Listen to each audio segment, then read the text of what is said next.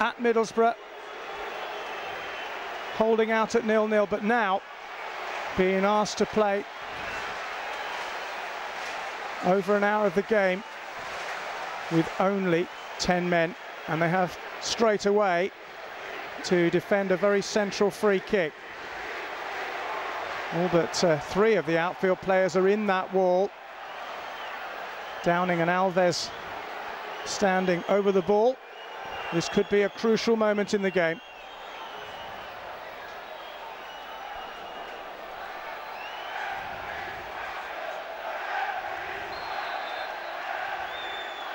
It's Alves. It's fantastic.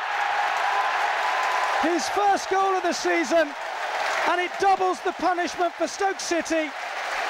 Andy Faye sent off from the free kick. Brazilian perfection.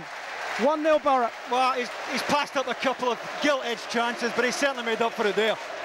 Thomas Sorensen started slightly right of centre, but I don't think it matters where he starts here.